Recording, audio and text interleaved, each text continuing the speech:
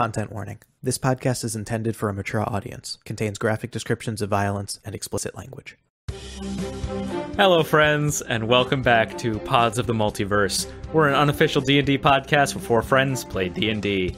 We're so glad to have you back at the table for our fourth game. I'm Andy, the DM for our adventures in the world of Theros. Let's go ahead and reintroduce my friends and the players for this game. I'm Jimmy. I play Gron, friend to one and all. Unless you're a Yeti, then look out. I'm gonna shove you.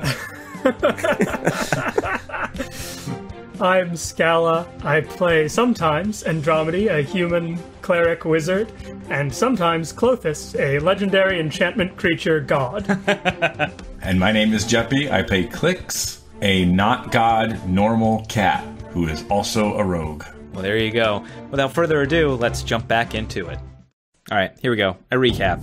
After meeting with Volkos and the other flame speakers at the monastery atop the mountain, eating with them and sharing your tale of the journey so far, he took you before a large fountain of lava and water, where began a ritual for Endromide to attempt to better see why fate binds you together and the threats that may lie ahead of you. Flung into the stuff of nightmares, Endromide suffers a shocking revelation as the voice of Klothys herself speaks through them with a dire warning that of a fearsome darkness and a weakened Nyx, and that something called Creation's Eye may offer aid against the coming evil. Volkos, reacting to this, sends Gron and Klyx into visions of their own, and there they see figures of their past that of Hargot and of Klyx's father, Lyukar, and the focus of their visions drawing towards mysterious jewels they both possess. After an evening's rest, the party, on advice from Volkos, sets off with him guiding towards Mount Velus to seek the wisdom and aid of Purphoros directly. Journeying across steep mountaintop passes, they manage to draw closer to the giant volcano, but not before getting caught in a snow squall and encountering a Yeti. Working together, they managed to greatly injure the monster before Gron flung it off the mountainside with his horns. Hell yeah. Hell yeah. As a Grand do. as a Grand do. So you're all still in the middle of this pop-up whiteout, very like Lord of the Rings, uh, side of the mountain. We must turn back. Volkos is guiding you forward. It is getting darker as you try and climb these mountains. You've just flung the Yeti off the side of the mountain. I mean, it doesn't feel like time to, to get a tent going. I, I, if I remember, we're on like a steep, like we don't have a lot of leg room, so we can't. Very stop. narrow passageway. Yeah. Snow and ice blowing all around you in the wind. Volkos looks to the three of you and says, We should find a safe place to camp. I don't know how long we'll have the light. Is there a ledge I could climb up onto to see if like this narrow pathway breaks, or if we can go in? Well, there's the one that the Yeti was on when you encountered it before it, it kind of jumped down. Yeah, Klyx will just go and climb up there uh, and take a look around. You go to, to climb the side of the mountain here. Go ahead and give me an athletics or acrobatics check with advantage. Uh, dirty twenty. Okay. Easily enough. The rest of the party watches as Klyx deftly climbs the treacherous rock face uh, up to the ledge where the Yeti had been perched.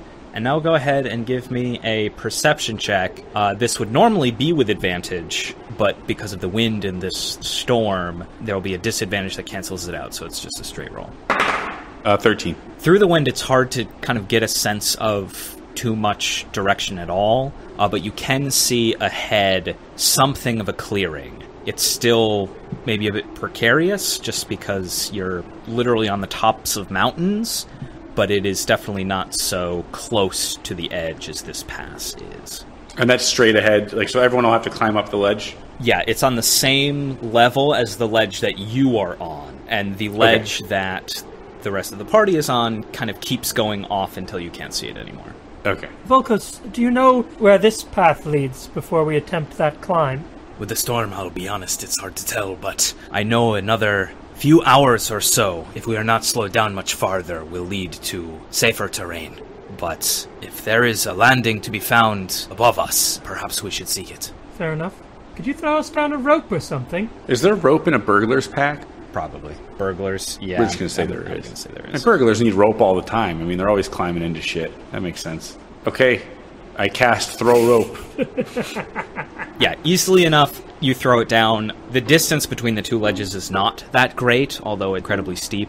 Between the three of you that are still down there, you're able to catch it fine. No, no rolls required. So Endromide has the bottom of this rope. How would you like to ascend? Well, uh, real quick, is there like a rock I can tie it to? Because there is no fucking chance I am hoisting up Gron. Hence why I ask. Go ahead and give me a survival or investigation check. Is uh is a uh, twelve. Okay.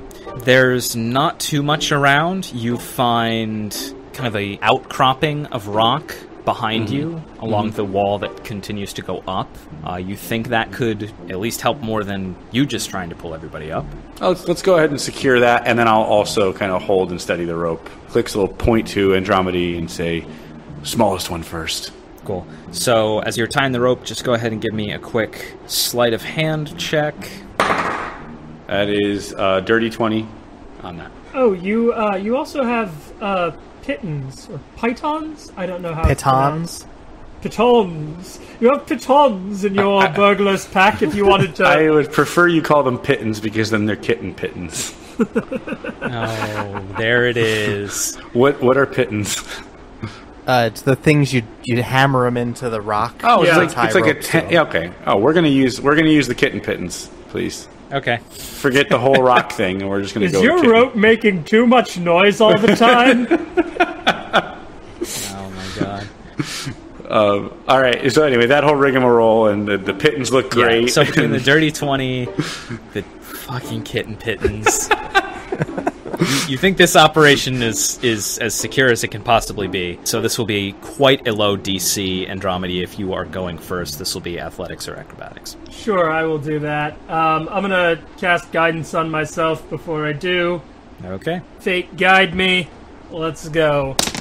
That's going to be uh, 14. Okay. Easy enough. It's maybe a little precarious, but between all of the, you know, the things out of the burglar's kit, you're able to safely make it up. Volkos, watching this, kind of puts his hand on Gron's shoulder and says, "Why don't you let me go next, eh, friend? So we can all we can all help the big one up, yeah?" Okay. So Volkos goes next, succeeds easily, climbs up the rope, and then he looks at the two of you on the upper ledge. This one might be a little harder. uh, so Gron, go Uh, for you it. can take a guidance too. All right. And I can deliver that with Scully, so she can fly down, land on Gron, flop a little a little Nyx dust on him, and Yeah, then fly back to me. Gron, a, a giant moth lands on your shoulder. We're being a little unfair to Gron. I mean, Gron may be heavy, but Gron is, uh, you know, Strong. Strong. Ron can climb a rope. Sure. Gron is going to do better than any of us on this check. The DC is not for Gron; it's for the rope. All right. Let's see. go for it. Fifteen athletics. Okay. Yeah, that will Sick. pass. Uh, the rope does not break, and between all of you, you're able to ascend to this upper ledge. And indeed, after a few more moments traveling on this side, you find a small clearing where you think it's much better space to make a camp than what you were dealing with lower down. I want to find my hand axes that I threw at the Yeti, and it was up here. Oh, you threw them up. That's right. Go ahead and give me investigation or perception. We're gonna make this perception. Eighteen. You find both of them. They are buried in a little bit of snow, but they are they're close by to where to where you climbed up. Ah, Wouldn't want to lose those babies, eh, Gron? I've had these for a really long time. They're special. Oh, well, that's nice. It is nice. Yep, just eager to make conversation with Gron. Okay, so moving over to camp, I suggest you all get some rest. I can't say what sort of elements we'll be up against. If this squall is anything of a precursor, it could get even worse.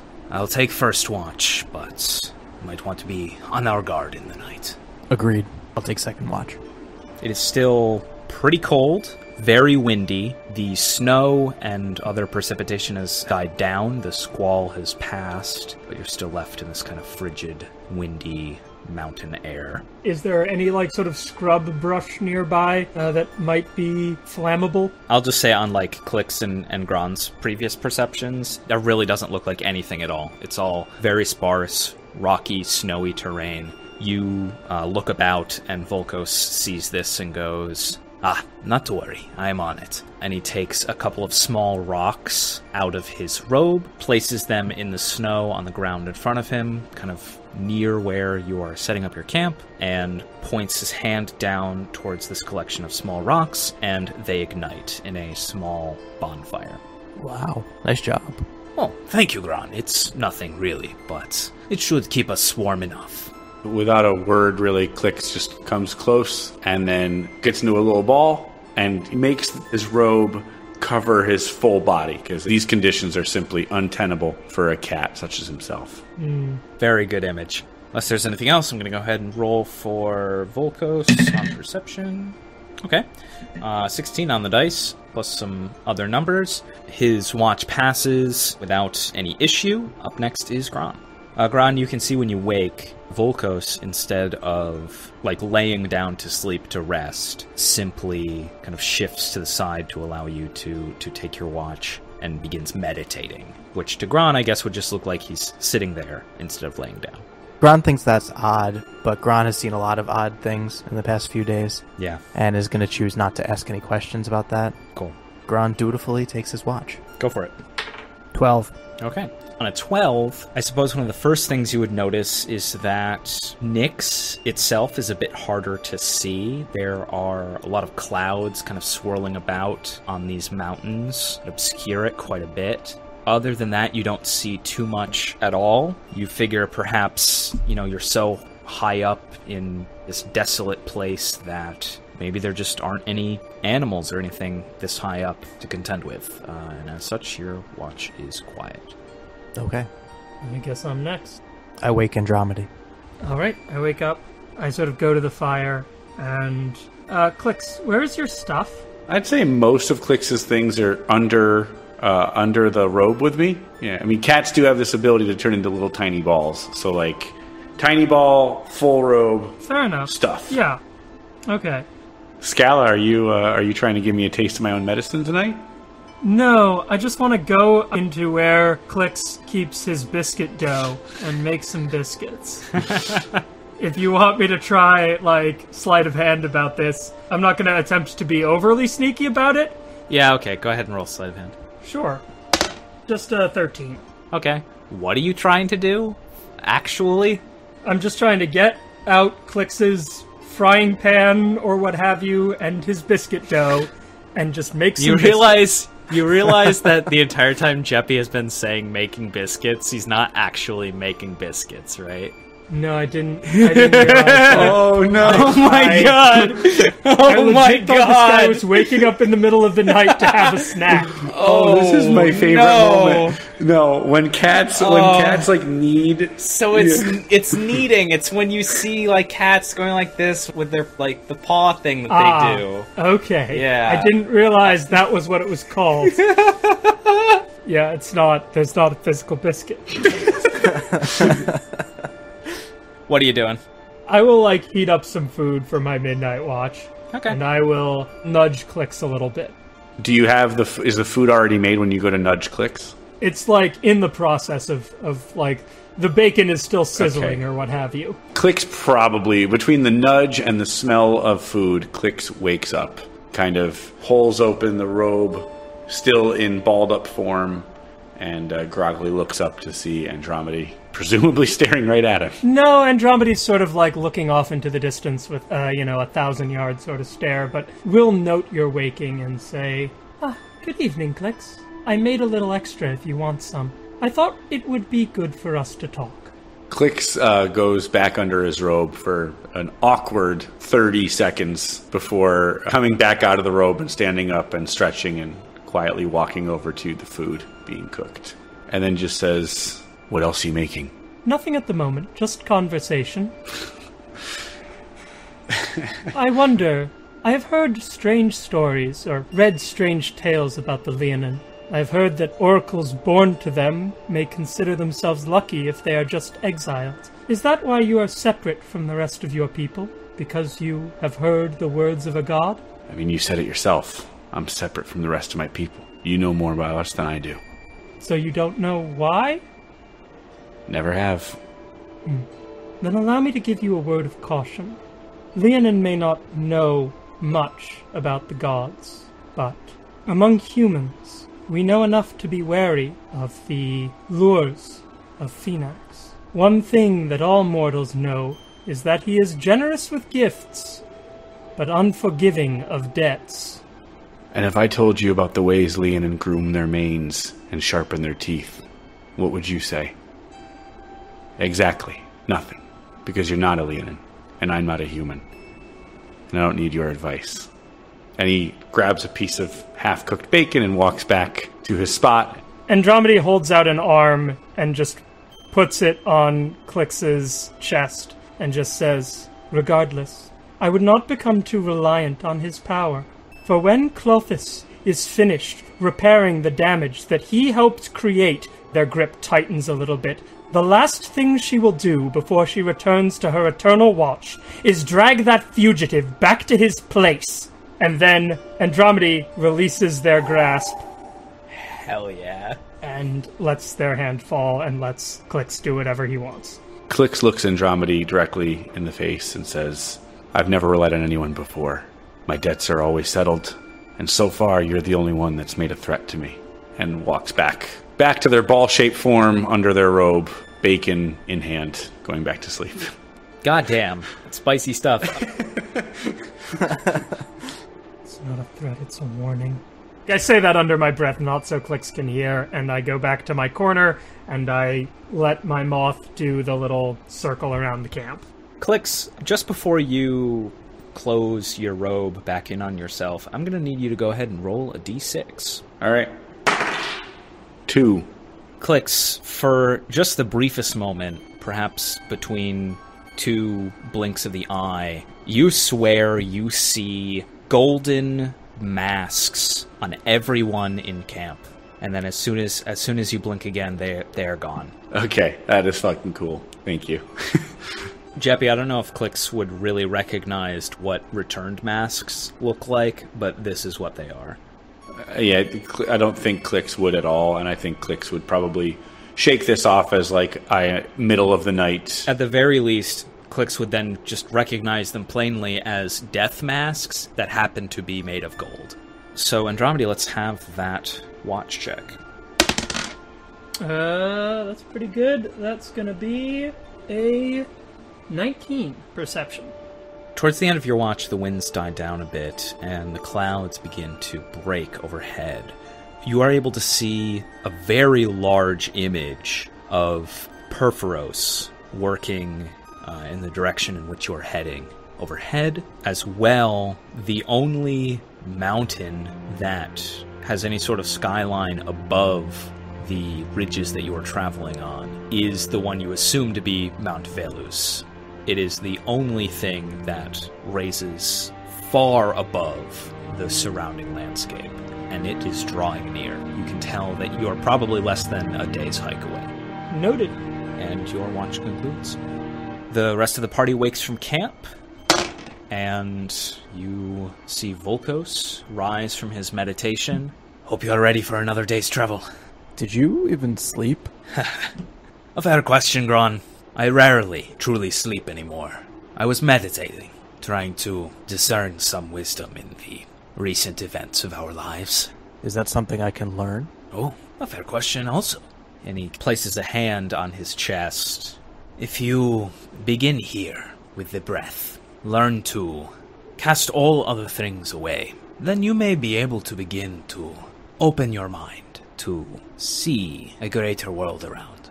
It takes time, but I am led to believe that more are capable of it than they think. Gron puts his hand on his chest and takes a deep breath. Roll religion. 15. Okay. You take your deep breath, feeling the air in and out of your body. It Doesn't really feel any different. Cold up here. Aye, we best get moving. So, let's go ahead and have some survival checks from everyone as we begin the second day's journey towards Mount Velus. Y'all can put a d4 on this. 17. 18. 13. Volkos also rolling an 18. So, together with the kind of clear weather that you have for the moment, as well as everybody generally rolling very high, you continue along this path and find little impeding you on your journey. I am, however, now going to need everybody to also roll me a Constitution saving throw. This is for the fact that you are very high up, the air is getting very thin, and you may begin to feel some of that effect on your bodies. 13. I feel alright. Ten. That's a nat 20. Klyx doesn't feel a damn thing. Just chilling, had his bacon, fully rested. We're good to go. I'll tell you right now that the, the DC for this first one was only a 10, but Endromide, even so, starting out here this morning, you feel the thin air, uh, you feel it being a bit harder to breathe, and you can tell the farther up you guys go, you could potentially start to feel some some exhaustion from this trek. The weather you can notice is starting to pick up ahead. You begin to lose sight of the peak of Velus in the distance. Let's go ahead and have another series of survival checks. 21. 17. Hmm. Seven. Incrementally getting more difficult. The weather begins swirling around you, and I'm going to need somebody to go ahead and roll me a d4, please. 1. Uh oh. Uh oh. Gron, your danger sense begins to ping as the earth beneath all of your feet uh, begins shaking violently. I'm going to need everybody to make me a dexterity saving throw. Cool. Is 17. Uh, perfectly average twelve. 18. The ground begins trembling, and Volkos shouts out, Everyone, watch out! As columns of lava spring forth from the ground around you. This burst of a micro volcanic eruption. From the gouts of flame and Endromide, you are unable to step out of the way, and you take six fire damage, and everybody else taking three as these burst up out of the ground and then in an instant kind of die down and begin pooling around the path that you are treading. Oh, Volkos kind of trying to jump out of the way and dodge these gouts. It's the dragon! Oh, trust me, Gron. You would know if it was a dragon. Just everyone step careful. That could have been way worse. I rolled pretty low on those uh, flame geysers. That, unfortunately, being one failure. Everybody go ahead and roll me another con save for the exhaustion that may be gripping some of you. Okay. Uh, 22. I feel like I'm Wow, burning through my yeah, good rolls early. like, really ripping them. What kind of bad shit is coming out after this, though? Like, it, it, My highest die roll today has been a ten. was this it? No, this is a nat one. Uh-oh. No. You're gonna be tired. Endromide, one level of exhaustion. okay. 23. Gron feels great. Go on, you think you're on a leisurely hike through the countryside. It was cold, and then it was hot. I feel fine. Gron's like one of those annoying as fuck personal trainers that's like, you can do extra. Yeah, I'm, And I've been jogging the whole time. Got to keep Yeah. my heart rate up. He's got a headband on, like, fuck you, man. Amazing. This isn't. Just I want to go back to the library. I want to go back to the library. No, no, Endromide. Have faith. We are nearing our destination. I hope there's somewhere warm to read there. Oh, it will be quite warm indeed. I can assure you of that. All right, one more round of survival checks. 12. Oh my fucking god! Nat one? I got the 1 in 400 chance of two nat 1s in a row. Oh, oh no! Oh My God. That's oh, gonna no. total a 6 for my check. Okay. Oh, no. Okay. I switched dice too. It's it's not a dice problem. It's a curse problem. It is a curse problem. I have a 13 on my roll. These are low rolls. Oh man, these are not good rolls. How'd Volkos do? Uh, Volkos has been doing great. He got an 18 on that one. Oh, good. Just slowing him down. Loaded dice. No, he's just kind of good at this. That's why he, why he thought he should come. This is exactly why I thought I should come. but on a 12 average, uh, I'm going to go ahead and need somebody to roll another d4, please. No, fucking. I'm not. I'm not Yeah, you know, you should do it die. Yeah, you get the fuck away from your dice. I don't want anything to do with whatever you're All right, going to well, I roll. did the I'll last roll. one. Yeah, go ahead, Geppi. Four. Okay. This one not as bad. So as you are traveling along, you see a another large snow squall begin to billow up all around you. The wind begins roaring and howling, this fierce gust. I need everybody to go ahead and make a strength saving throw. 19. Seventeen. Hey, there's there's a decent roll. Klyx, what do you got? Yeah, no, uh, th- here it begins. Uh, the death knell of my dice rolls for the rest of the night. That is going to total a six. Uh oh. Not a great roll from Volkos. Alright. Endromide and Gron, you begin to see Volkos and Klyx losing their footing on this precarious path, and you can plainly see that this, this path is very narrow. This fierce, practically hurricane winds rushing up out of nowhere. The wind and snow, they begin falling off the side of the mountain. Volkos shouting out, Klyx, your rope! I'd like to cast web, Okay. uh, and I'd like to sort of cast it anchored on the side of the cliff, and then going up and anchoring on the like ledge above us. So it's sort of forming like you know those nets in rock climbing places. Sure. I kind of want to make that Okay. with the web spell. You use an action to do this. So you all see Endromide cast this web spell, and Klyx and Volkos fall into this web and are caught before tumbling down the steep side of this mountaintop. Wow. Oh, oh, Endromide. Well done. Thank you.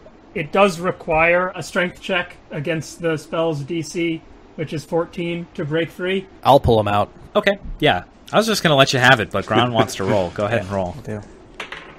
Yeah, that's a 16. I grab Klyx by the scruff of the neck and just pull him out of this web. Aw.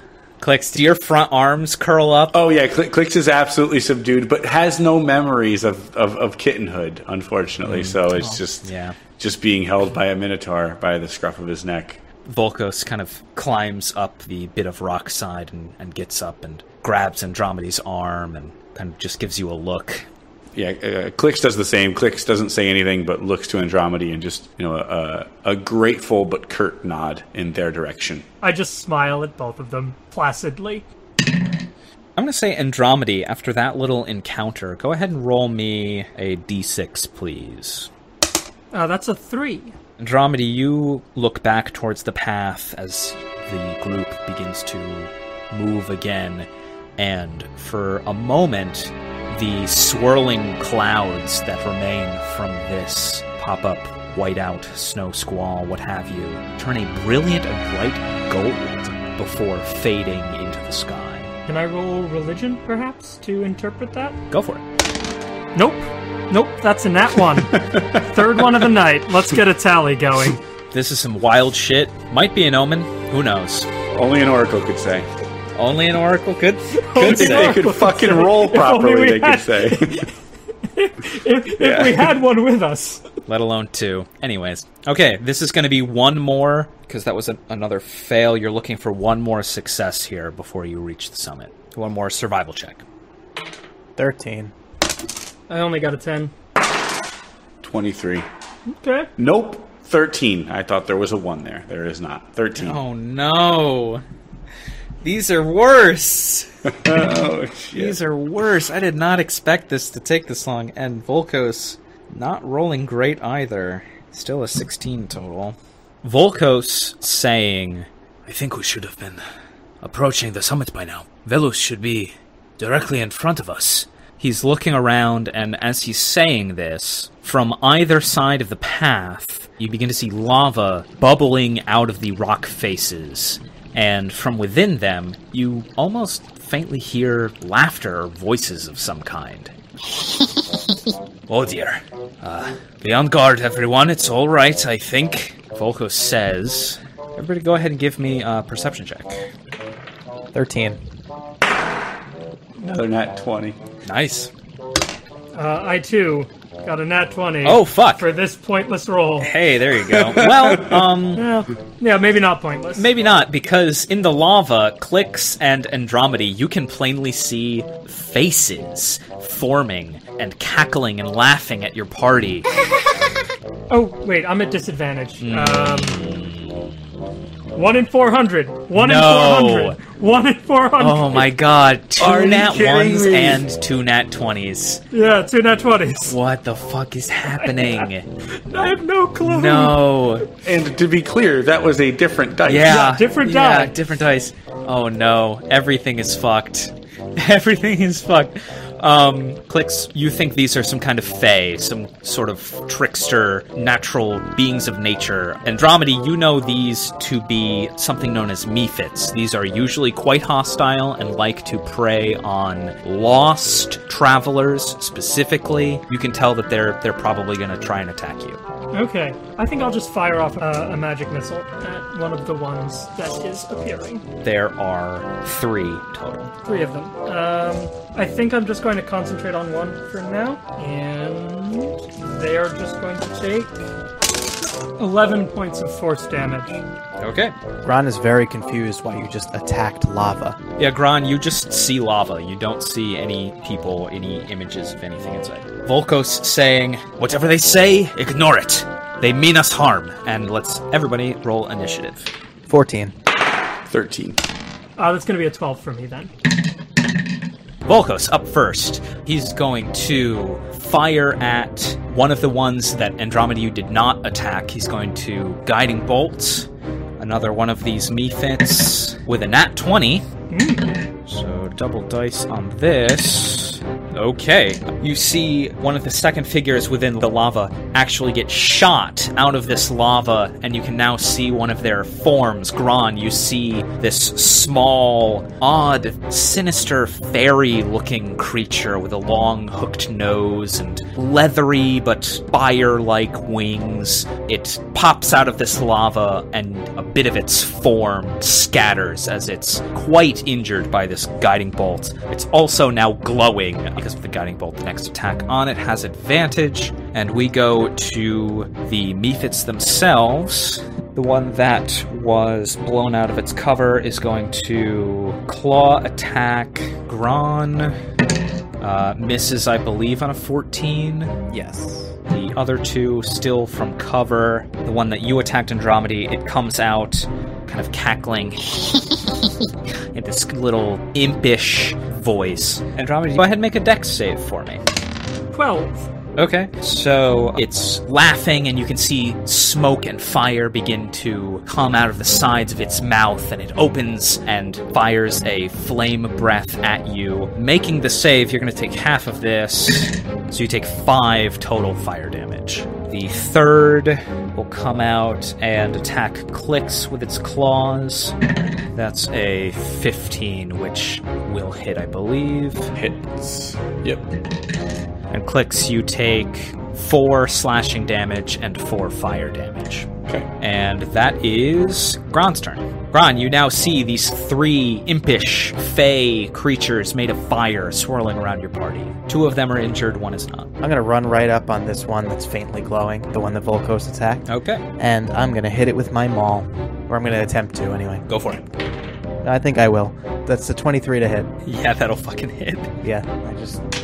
That's 10 bludgeoning damage. All right, Gron, kind of like a seasoned home run slugger, wind up your maul and slash out at it. You hear the shattering of rock and stone as this small fey being just poofs into a cloud of dust and cinders.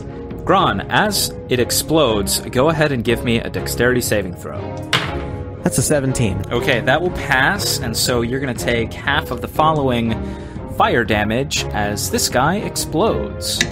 That is four fire damage, Ooh, spicy. and the remains fall to the ground.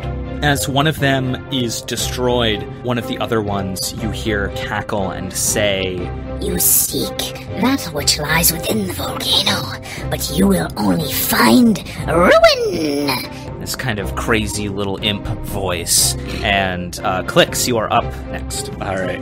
Klyx is is uh, gonna react to being attacked by the one and attack it back. And he isn't gonna do that because that was two. That will miss. You can still go ahead with your offhand, but the first swing misses. Uh, 19 probably will do it. That'll do it. Drum roll. Three damage. Geppi, you can roll sneak attack on your attack. That is two damage. Okay, so five total. So when I cast heroism on Gron, um, I will use my voice of authority to allow him to attack again. Oh, nice. Very cool. What do you say when you cast this? Uh, the same sort of vibe, just uh, as Scully sort of flies this tapestry of a heroic deed from the past and drapes it over Gron's shoulders. Uh, Endromide just says, "Feel the the strength within you, fulfill your destiny, and be a hero. Go get him, champ." Can do. Cool. So Gron can attack. Wait, what? Yeah, you can take your reaction to attack. That's my voice of authority. Great. Okay. I'm gonna recklessly attack it. Go for it. I'm feeling really brave. I'm feeling full of hubris. I'm gonna attack this thing with my maul. It sort of landed on the edge, one of them. It's balanced between 19 and 2. That's really weird. You can reroll it if you want to. But it feels like cheating. But a 17 hit? 17 would hit, yeah. Alright, I'm gonna take I'll it. give it to you. Yeah, alright. Uh, then. That's 13 bludgeoning damage. Very hurt. Alright. As you swing into it. So Endromide, that was your action. Anything else? I'm just going to back a little further away from this uh, combat so I don't get, you know, any more fire breath happening on me. All right. Volkos up next. Uh, he says to the one that spoke out, The only doom we will be seeking today is yours, friends. And he will kind of take his hands, and you see them begin to faintly glow as he strikes out with these monastic ki infused blows. Uh, striking once, you see he quickly follows that up with two more attacks. One of them hitting, one of them missing. Monk's gonna monk. See the one that was previously injured by, I think, Endromide. He punches out with these fists, and the Mephit bursts into another cloud of dust. Nice. That is one Mephit remaining. Going to fire breath towards Klyx and Gron. I need both of you to make dexterity saving throws. 12. Eight. Okay, Gron passes. Klyx, however, does not. So Klyx, that is eight fire damage, and Gron, that is four. And that's Gron. Um, alright, I'm gonna smash this thing. Gron's gonna smash. I'm gonna smash. I'm gonna smash recklessly. Hmm. 13 will still do it, right? 13 will still hit, yep. Alright. That's 10 bludgeoning damage. Gron, go ahead and paint the final picture here. I um, pin it down with my foot and then with my maul kind of just aim right for its head. Get off of me! What are you doing? Like a no, bocce ball. stop! Ah, ah. it fucking bursts into a cloud of fire and dust and is extinguished. Give me one more dex save, Gron, as you slay the final Mephit. That's a 12. Okay, that will also just pass. Not too high of a DC on these. So that's half again. Double fucking ones. One fire damage. Ah, end of combat. Oh, well, that was rather exciting, wasn't it? Well, uh, we should be on our way. We really should be able to get there before nightfall, but at this rate, who knows? Uh, and with that said, let's go ahead and have one more group of survival checks. Don't forget your d4s. Oh. Didn't need it because I got a nat fucking 20, but I also got a 3 on the Hey, there we d4, a total of 25. Yes. Well, I hope that makes up for my, uh, once again, same number on the d20 as the d4. That'll be a total of seven for me. Oh, at least I beat you. I got a 9. Oh, guys. oh, no. Come on, Volkos. Yeah, here we come go. on, Let's see. Hot money. That's a 19 on the die. All right. nice job, Volkos. Does Volkos also get a d4? Uh, yeah, he's a cleric too. He can he can guide himself. Uh, plus three. Volkos getting a 27 total.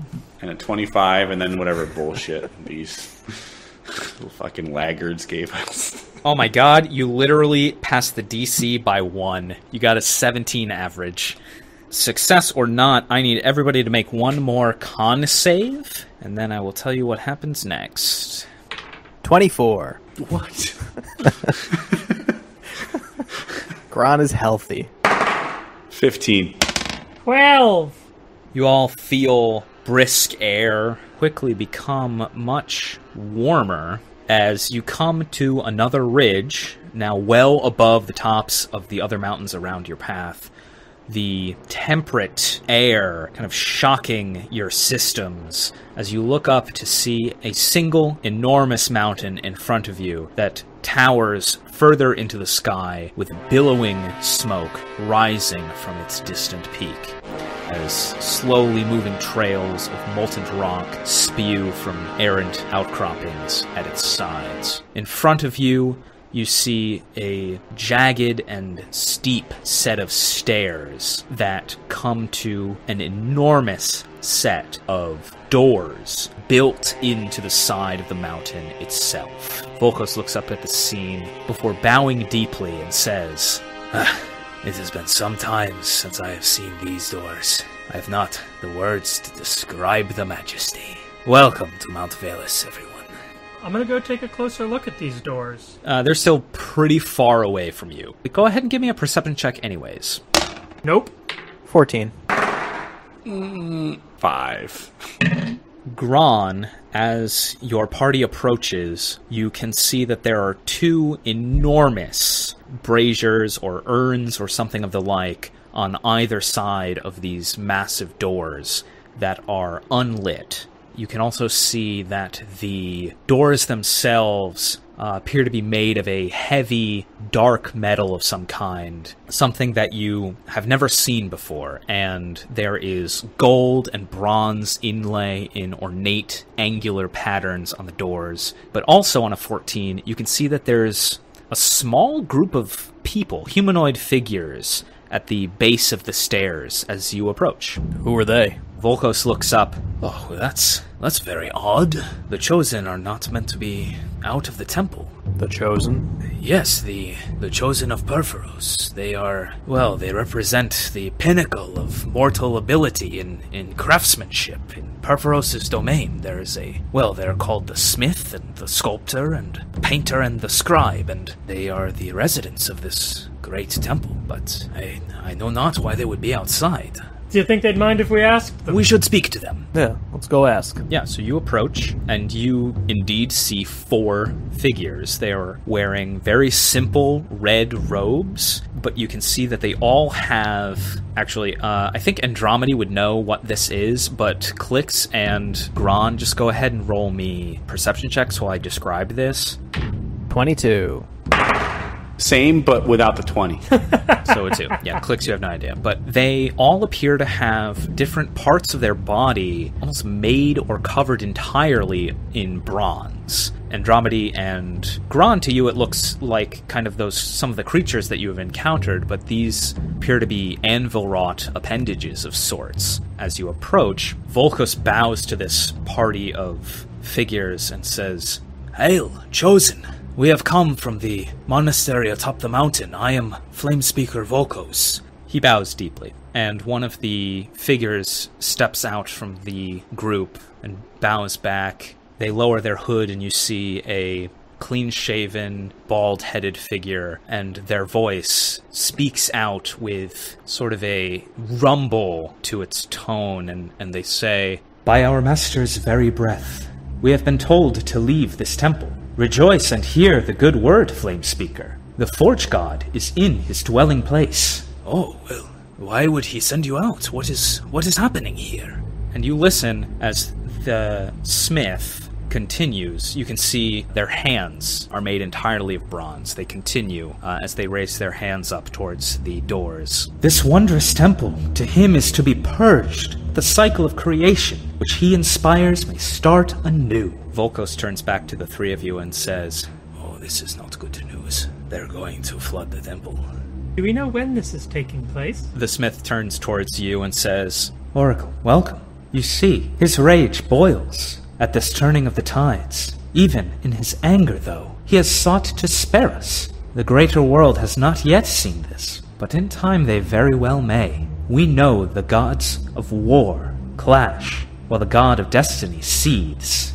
Has your master told you what he intends to respond to this chaos with? It is not our place to ask, for we are merely his chosen, those who work his wonders into the mortal world. We perfect our crafts in his visage. We hear his words, and we do his work, but it is not our place to spread his message. He turns to Volkos, the flame speakers. This is their purpose. Well, you are not wrong, great smith, but I have seen in a vision to bring this party of heroes to this temple to seek the forge god's aid. Well, I see. We shall not stop you, but be warned. The temple itself may try your passage. Indeed, lava may flood those chambers within at any moment. Saying this in kind of a, a reverence and awe, they conclude saying, Seek his wisdom, but do not tempt his wrath. They kind of bow to your party, all four of them at once. I return the, the bow. Well, this is most challenging. Volkos kind of looks at the ground around and then back up at the doors. What do the three of you do? Well, let's go inside. Klyx nods approvingly of that plan. I imagine if Purphoros called us here, he did not do it simply to bury us in his cleansing of the temple, purging of the temple, what have you. Or maybe he did. Indeed, or maybe he did. Either way, let's go. Practical Garon. Alright, let's go.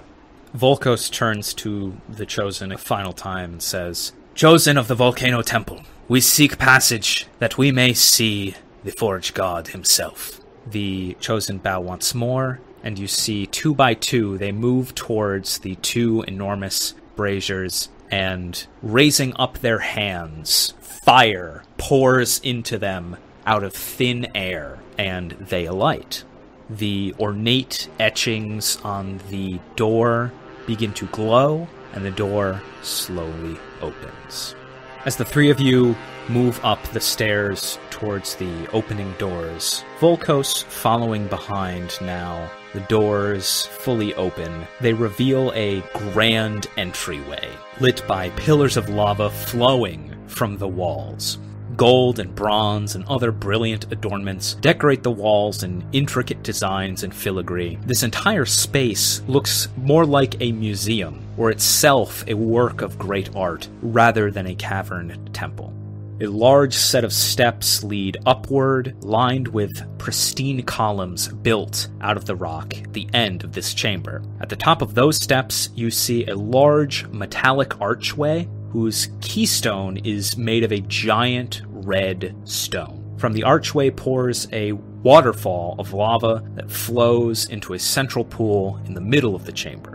And you would also plainly see two smaller archways on either side of that, both leading to hallways or, or, or doorways or something to the right and left of this space. Are all of the decorations like? I mean, is it paint? Is it like the walls are painted and adorned and etched, or is it you know? Are there? Are there artifacts to steal? Yeah, that's. Ex- I mean, you know exactly where I'm going with that. Go ahead and give me a perception.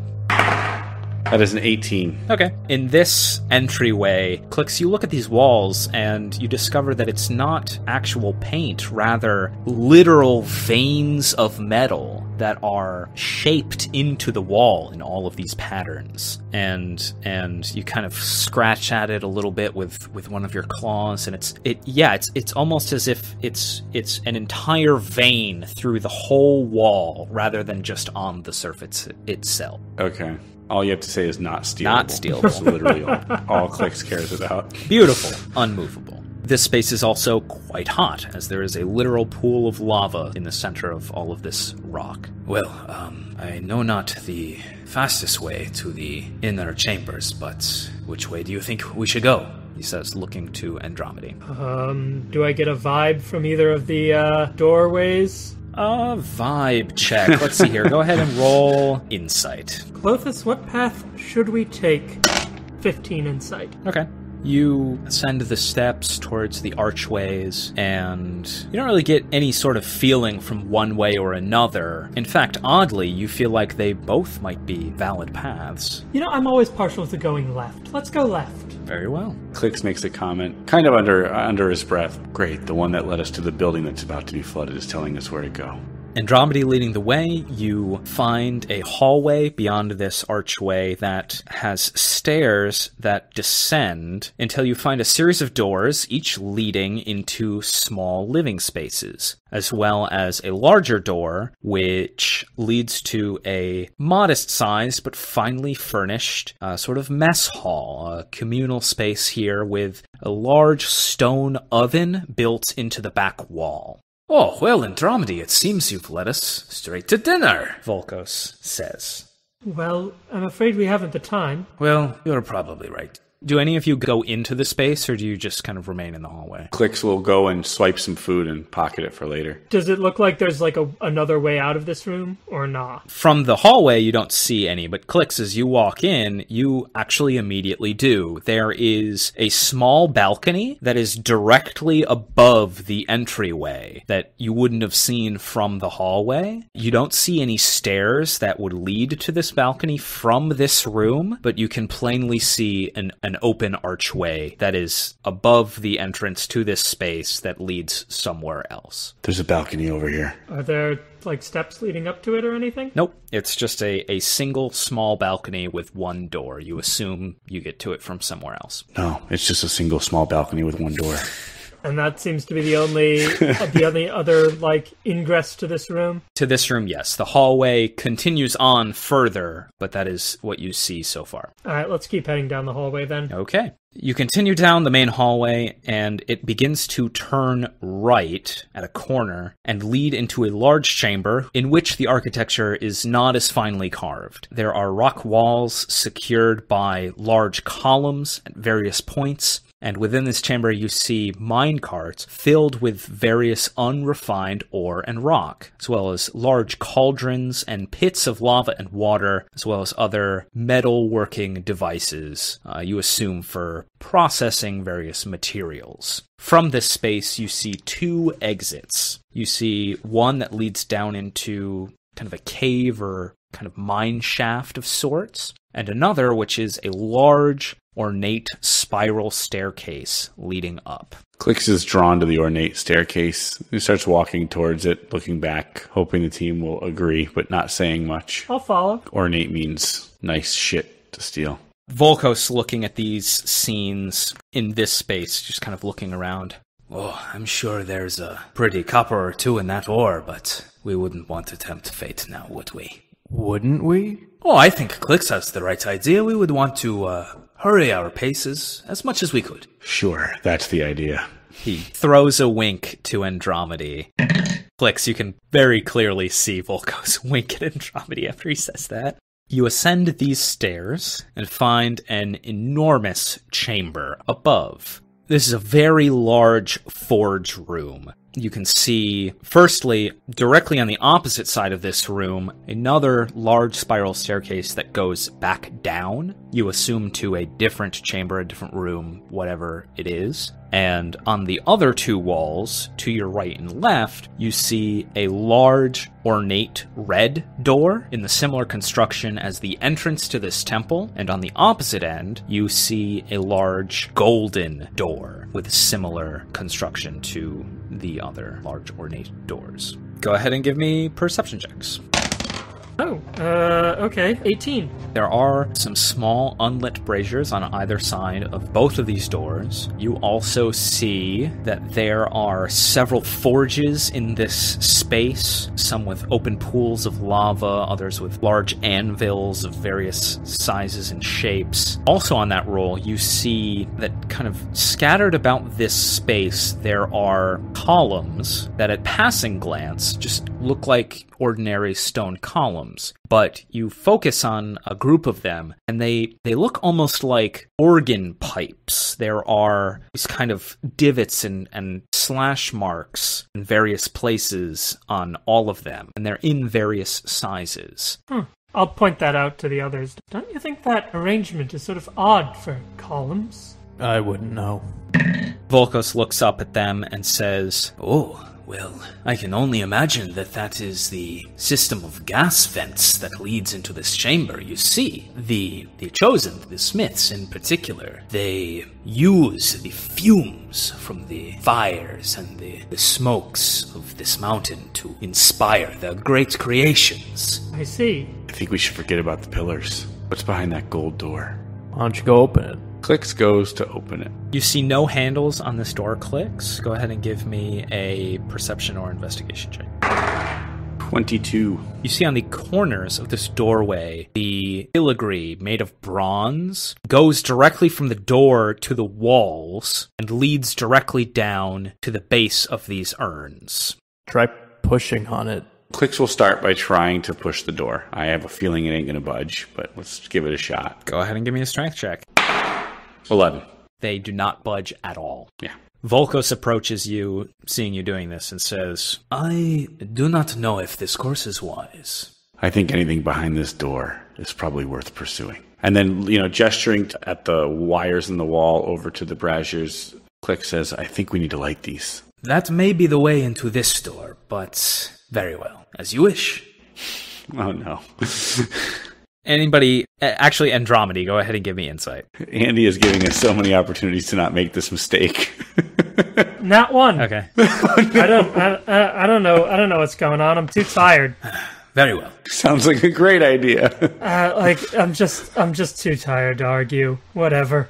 You want me to light the thing? I'll light the thing. Yes, Endromide, would you please aid me? As he lights one of them, pointing to the other. Yeah, I'll conjure up a firebolt and throw it in there. Very cool. You light these two braziers, and the door begins to glow and open inward. And you find within a large and very finely furnished room, though all of the furniture is much larger than anything you have ever seen before. There are countless works of art, each more remarkable than the last, as well as a myriad of weapons and armor seemingly just cast about in this space. You see a small hallway that is at the end of the room that goes kind of out and then in a T, uh, so you can't see where either direction might go.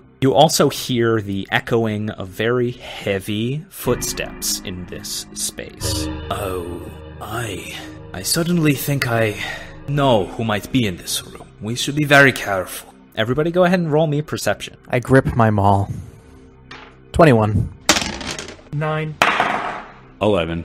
I don't think they will mean us any harm, but I have never met them. Of whom do you speak? Very few mortals know that he exists, but everyone say hello to Petros. You look up and see a gargantuan humanoid figure stepping through this space, their form perhaps hidden previously by some giant magnificent statue or pile of golden pottery. Uh, they step out, and you see what looks like a giant, entirely made of bronze, form of Purphoros. But as you look, you can clearly see that there are small details that are different than most images of Purphoros. This figure looks down at you with a calm yet quizzical look. How do you all respond?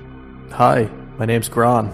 I sort of give a, a bow, like just a greeting bow, not like a not like a deep bow, just like a hello and thank you for your hospitality sort of thing. The back of Klyx's fur bristles a little bit and he steps back a little bit. Not probably super noticeable to everyone, but definitely a little freaked out.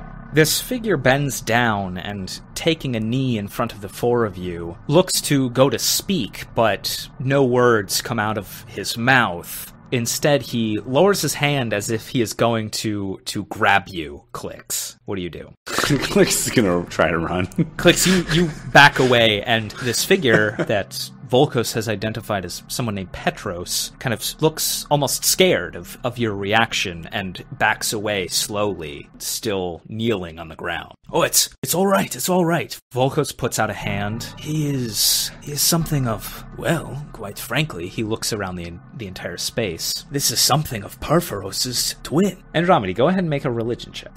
I'm too tired to remember anything I've read.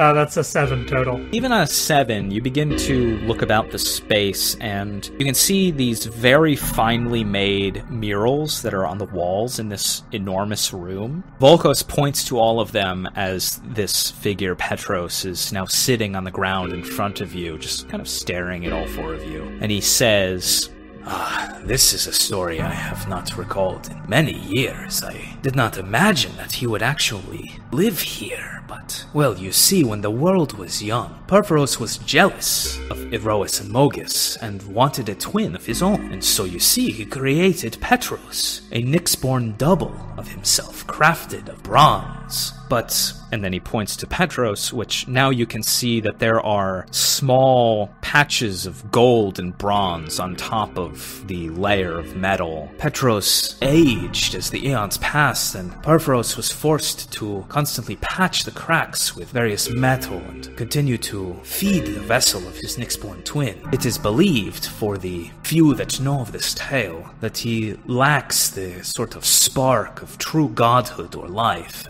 isn't known to speak. Instead, he toils away constantly, all the day and all the night, in, in his forge, making all the wonders you see before you. I had no idea. He says as he looks about the room once more. So you still want to take this stuff, or I wonder.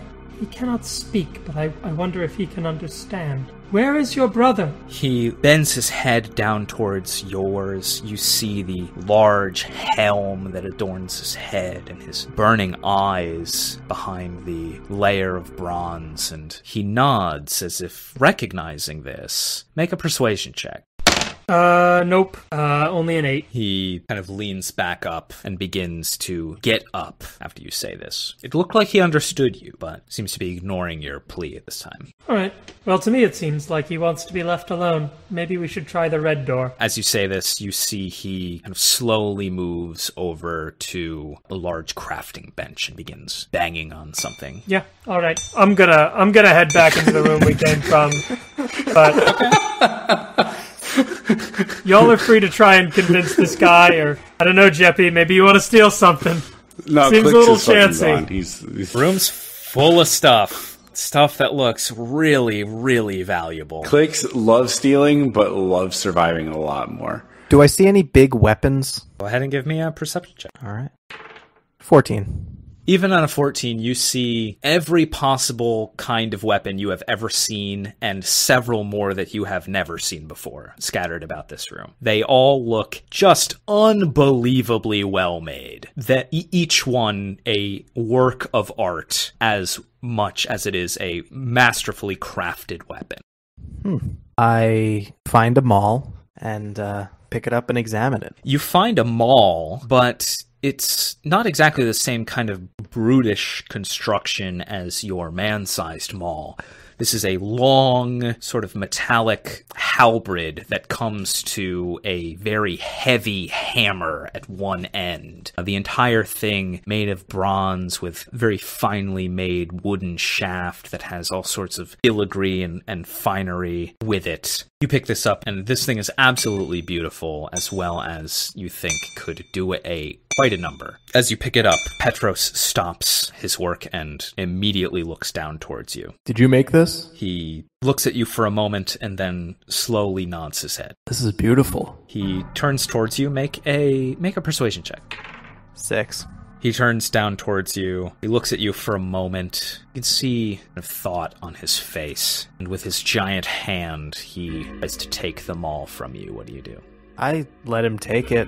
I'm not gonna start a fight with this huge guy. He takes it out of your hand and he very gently places it back on the pile of weapons where you found it. Sorry. I don't think you're taking that fucking maul.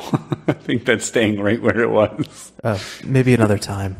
I don't think you asked the right question, Gron. I think perhaps Volkos comes over to this scene and says, Petros, master craftsman, capable of heights beyond any mortal comprehension. My friend Gron, he points to you, would like to wield this magnificent maul into battle in your honor. Gron, he gives you advantage on that persuasion roll. All right. Now it's a 14. Okay. Petros looks down at you and looks at Volkos and looks back at you. He picks up the maul and he holds it in front of you. For me, He kind of nudges it towards you. I take it. He lets you have it. Wow. Thank you.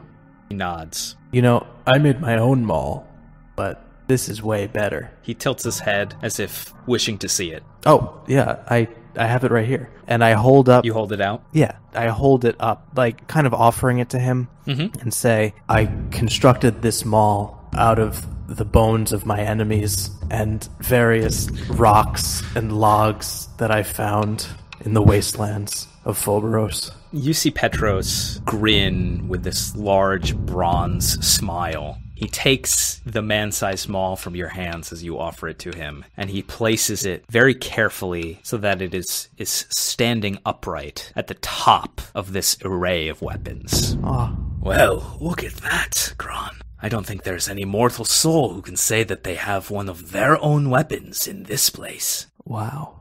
I bow to Petros. Petros gets down on, on both knees and fully bows in front of you. His form takes up practically like a, a quarter of this entire giant room. And then he gets back up and goes back to work. All right, I turn and quietly leave the room with my new maul.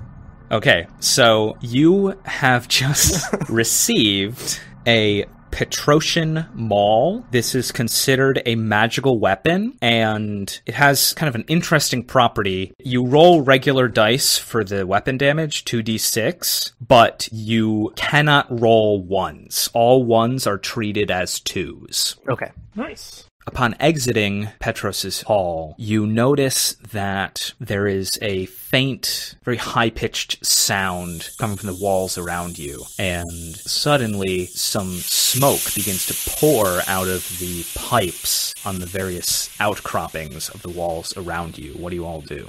Well, I'm not looking to get high right now, so I'm gonna leave. Would I have enough time to like light the two braziers on the red door before the room starts to fill with smoke? Mechanically, I'll just tell you no. Okay, then I'm heading down the stairs. Down the opposite stairs. Yep. Okay. Yeah, I, I think Endromide has the right idea. Perhaps we seek refuge for a moment. We don't quite know the full extent of what that gas could do. As this sort of faintly sulfurous smoke begins to fill this chamber, you seek refuge down the other set of stairs and find yourself in a unlit room. The stairs descend very far into this chamber, such that you assume the ceiling is very high. Endromide, passive perception alone, you can immediately smell a familiar and welcoming scent, that of paper and books. The room is unlit, but in the middle of this large space, you can see a small ember, uh, perhaps of a, a fire pit or, or something of the like, dimly glowing. Uh, I'll chuck a firebolt in there, uh, see if I can get it going. Okay. You throw a firebolt towards this faint light source, and it immediately erupts in a small fire. And from that, two little, um, it's almost like at the end of National Treasure when there's a little like oil slick that kind of lights an entire room and kind of goes about. So that happens. and you stand in the middle of an enormous library.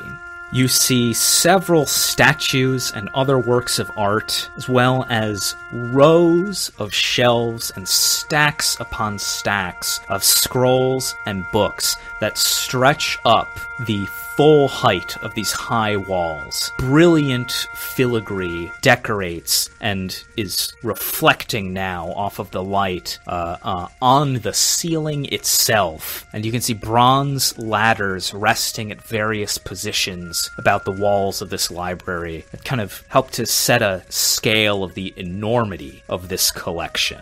Where to begin? I think we're gonna be here a while. I wish. I wish I had more time. Oh, Endromide, this must be very trying for you. It's amazing uh, to think all of these books, all of these scrolls, the tapestries. Look at that tapestry! Points up to a giant tapestry of, of some great epic on display. To think all of the, these things are just going to be burned, destroyed, only to be remade again.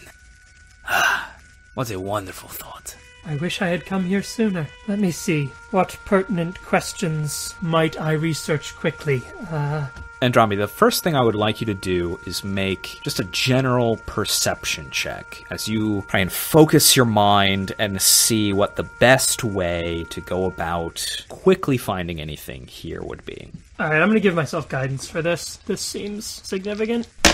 Gosh darn it. Uh, that's gonna be a 15 total. On a 15, there are many more scrolls than there are books in this library, but you get the sense that there is a very discernible organizational pattern to this place. And so basically, you will have a limited number of these because this will take time, and you have no idea when this entire temple could go up in lava. Mm-hmm. And so you can look for a very specific subject and try and make a roll based on that. And then each one of those, depending on how good the roll is, will kind of tell you how quickly you find these, whether or not you read them immediately or pocket them to, to read another time. Um, so I think the first thing I want to look for are any writings, or specifically, I think looking for prophecies about perhaps a siege uh, of Akros or Klothys' return from the underworld. Anything that might pertain to like this specific moment in time. So these are investigation checks. Okay. And I will say that Volkos will help you. Okay. So these are going to be flat rolls. Great. Uh, and I'll give myself guidance for this as well. Come on, dice. Uh, that's going to be a 14. Okay. You get the sense as you begin to look about this space that finding information specifically about Klothys is going to be very trying at best. Just considering that even your studies in the in the citadel you know have led you kind of far afield in this subject that even in such a magnificent library of a god that those secrets may still yet be hard to find written down but even on that roll you find some very interesting titles So this is the Tome of Understanding as we know it, and the author is an unnamed follower of Horizons. Endromide would assume a disciple of Kruphix. You pick this up, and as soon as you touch it, you immediately know what it could do. Basically, as you read it over the course of several days, it can increase your wisdom and your intelligence each by one point. Extremely powerful. Extremely powerful. But I guess this is a god's library, so makes sense. Makes sense. Uh, you find no other specific titles on that very difficult and specific subject. While they're doing that, I want to just look at the closest book to me and see if it makes any sense at all. Gron, you walk up to the nearest stack of books. Go ahead and roll a d12 for me. Nine. The cover of this tome is brilliantly scribed The Legend of Tecton. Tecton. Gron's learning. You say that out loud, and Volkos says, Oh, a worthy historical tome. Tecton is thought to be the first mortal that Purphoros granted the secrets of bronze and, and metallurgy to. Quite a good read, I imagine. Hmm. Klyx is walking around, pulling out, uh, not fully, but just kind of tilt pulling, like mildly pulling out books. You know, familiar enough with the idea of trapdoors or secret passages. So just like, and not in a rush, just slowly doing it because he gets the sense they're going to be here a while. Klyx, let's go ahead and have an investigation check as you skulk about the room. 23. That's a great check. You peer through various tomes and scrolls, looking for any secret wall or chamber. You get around the perimeter of this space and don't find anything trip or trigger, but you move towards the center, kind of near where the small fire is lit. And surrounding it, there is a large table of open stacks of scrolls and books, and one scroll is kind of placed very peculiarly in the table. Now, at 23, you go to pull at it, and you actually do trigger a secret chamber. There was one of these in the entire room, and it needed to be a DC 21 or higher. Holy shit. You all watch as the fire and the vessel that it is burning on rises up, revealing a large column underneath it. And in this column Klyx, you see a space cut into it. Very ornate designs on the interior as well as the exterior. And inside it, you see a beautiful armlet, hmm. like a large bracer that goes that's, that is worn on the forearm. Very nice. I'm gonna take it. Oh, Klyx, that is a beautiful relic to behold. I would be careful, but Volkos doesn't stop you, Yeah, I grab it. as he himself can't help but admire the beauty of this relic. You take it, make me a dexterity saving throw. Oh, here we fucking go. There's a 17. Okay. Just because it's spicy, I'll tell you that was a DC 15, and so you pass. As you you go to reach into this space and grab it, the fire, same fire that, that was lit in this room, now sitting on top of this pedestal, kind of sparks and then bursts, and you have to back out of the way, but you were able to dodge the kind of explosive detonation from this. And so you are going to take half of the following fire damage. Sounds like a lot of fucking dice, Andy. It was a lot. It. it was a lot, but it only amounted to total of five fire damage. And you have this beautiful armlet. As you touch it, you see that there are three beautiful phoenix feathers that are kind of molded into the metal itself of this piece. You do not know what it does yet. You you get the sense immediately that it is magical, though, and it is now yours. Sick. Klyx is happy. Endromide, what other sorts of things would you try to look for? Just anything about, if not Klothys specifically, like musings on fate or destiny and things of that nature. Okay, uh, go ahead and give me another investigation check. Uh, nice. That's gonna be 23. Okay, that's a real good roll. You look about and you begin to kind of better understand the function of this library. While a lot of it are texts about various historical events, various philosophies, theology, it's all more directly or indirectly related to Purphoros, much more than any other god. That is not to say that there aren't other gods mentioned in these various things, um, but they're all one way or another related to Purphoros. And so that's a very good role, and so I'm going to give you a couple of titles that, as you would read them, would, as it relates to Purphoros, have to do with that subject. And so the first one you pick up is called The Elements Principles of Water, Fire, the Earth, and Their Gods. And I'll send all of you these uh, as well. Another one called The Stone Winter. And lastly, one called On the Origins of Civilization The Fall of the Archons. Very good. And I think there's only one more thing I want to look for in here. Okay. Volkos, kind of seeing what you're going for, also makes something of a suggestion. perhaps because it is of Purphoros, uh, something a bit more, bit more literal, a bit more about the nature of war or, or weaponry, or perhaps. Purphoros is the god of creation and destruction, is he not? Indeed, that is true. So perhaps creation of relic or item, something. No, no. When Klothys spoke to me, she told me to seek creation's eye. Ah, If anyone were to have information about where it might be found, would it not be the god of creation himself? a wise deduction. Uh, so that's going to be the last thing I look for any information about creation's eye. Okay. Go ahead and make the final roll. Uh, that's kind of average. Uh, just a 15. A 15. The only thing you find that you think may be related in some way is a title called The Construction of Constructs, as well as a title called On Dragons and Other Natural Creations. Whether or not you know how useful these will be, you won't really know until you actually read them. All right. That is something I will probably do later because Temple's going to be flooded. So, I believe this is as much research material as I feel I can safely recover. Thank you all for your patience. I think it is time for us to be moving on. Are we good here? Yes. I think I think we should be moving. I think perhaps the smoke has cleared above. So what's that left? Just the red door? Just the red door. Just the red door. Before we leave the library, Endromide would do so with a bit of melancholy. They would sort of pause, looking back at it, sigh heavily, and sort of to themselves say, "Ah, I wish I had more time.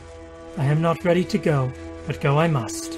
And then turn and leave. Go ahead and give me a religion check. Uh, 11. God damn it, disadvantage. Yeah. Exhaustion sucks. Yep. You proceed back up these stairs, and indeed, the smoke has cleared, and you see the door. The unlit braziers, however, on either side of this door are now burning with a deep red flame.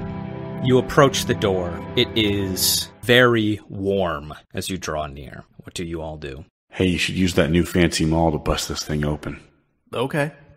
I look to Volkos, though. Is that a good idea? He kind of cocks his head and says, I'm not sure that your maul will bust these doors, but perhaps a very brilliant display of On the mention of brilliant display, Klyx kind of eyes widen and puts on the armlet to see if the armlet will push the door open. Hmm. Okay. Cool. Klyx you don this armlet, and you immediately feel the magic within it. You have attuned to this item, and this is the Phoenix Feather Armlet. It is a magic item, extremely rare, extremely valuable. Worn on the forearm, this armlet has three charges, represented by the three ornate phoenix feathers. As a reaction, you may spend any number of charges to reduce fire damage you've taken by the number of charges used times your character level. Additionally, you may instead choose to cast Hellish Rebuke. Casting this consumes all charges, and you cast it at the level equal to charges consumed. The charges restore daily. Sick. Well, I'm a badass, so pretty cool. Nice. Does it open the door, though? It does not. Well, that sucks. The fires are already lit? They are already lit. Hmm. Gron, do you swing your maul at the door? Uh, it's worth a shot. Make a attack roll. It's a 16. That hits. As you swing your new shiny bronze maul into these doors, they burst open, revealing the chamber inside. You see before you a space that confounds the mind. The inner chamber walls slant inward, as if you are stepping into the interior of the cone of a volcano. However, as you look up in this space, you see a red, swirling sky, the scope of which suggests that you are in a much larger space. You see several fountains of lava pouring out from far off walls into an enormous pool that takes up the majority of this vast space. The floor before you extends out over this lake towards the center of the room, where atop a series of ornate steps, a brilliant anvil stands with a hammer resting atop it. Most importantly in this room, a gargantuan statue of Purphoros himself stands facing the anvil, rising up from the lava beyond it. Lastly, as you enter this space, the doors begin to close behind you. The clouds begin swirling violently, and descending from above, you see two large winged figures. Volkos, looking at all of this, turns to Gron and says, I told you you'd know them when you see them. Gron gulps audibly. as two dragons descend from the clouds. And let's have everybody go ahead and roll initiative. Uh, 19. It was gonna be a 20, but it rolled back over. Oh, it just shit So it's uh, gonna be a 4. Close. Oh, no. Almost the same thing. I also got a four. I'm too tired to fight dragons. Okay. They approach the party. You can see as they fly towards you, one is a brilliant red dragon with bronze accents. The other, a bronze dragon with red accents. These two twin dragons, both sharing a very clear Nyxborn property, in that, in the shadows of their form, not lit by the direct light of lava or anything else in the room, have glimmers of starlight about their form. Well overhead, we start with Klyx. They're still about 30 feet above the party, kind of in the middle of the room. And in terms of like what's in the room, uh, like pillars, anything to hide behind, like that, Go ahead and give me a perception check. Is a 12. you see that there are uh, pillars that are on the edges of this large platform. You could try and hide behind them depending on where they are in the space, uh, but they're also right next to literal lava. So that's you know a, a risk you would certainly obviously weigh on that roll. All four of you are still relatively near the door. What would you like to do? Where would you like to go? I think I'm honestly gonna fucking Two dragons flying at you, Klyx. What are you doing? gonna hold my action. Okay, that is Volkos next, considering the other two rolled pretty poorly. You don't have to rub it in. I am just reading the numbers. Volkos is going to spend a ki point and use Step of the Wind to get the fuck away from the rest of you, saying, Their fire can be quite nasty. Better not stick together if we don't have to. and uh, runs towards the large anvil in the center of the room uh, with great speed. Next, the red dragon flies down and lands directly in front of the three of you as Volkos has run away. What a motherfucker. Sorry, that was rude. You could have run away too. You could have. You can actually still run away right now. That's true. You were you were holding your action. Yeah, I'm gonna run away. I gave you every opportunity, and you sat there like a dumbass.